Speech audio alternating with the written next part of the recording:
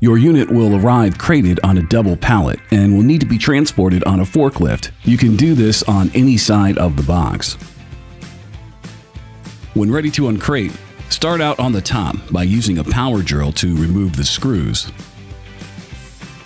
As you can see, it is secured on all four corners.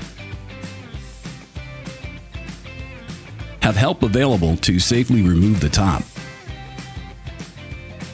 You do not have to remove the individual slats, so starting on one corner, remove the screws running up and down. Then do the same on the diagonal corner. Then you'll be able to remove the cage in two pieces. Next, remove the cardboard starting with the top. Then pull apart the corner to remove the box. This is what your AG8000 will look like when the box is removed. Now it's still on the double pallet. At this point, it'll need to be removed with a forklift.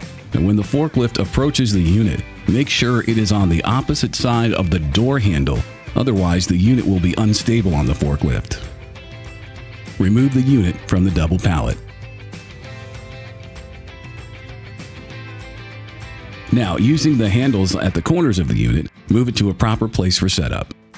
That's a look at uncrating your AG8000 from Abatement Technologies.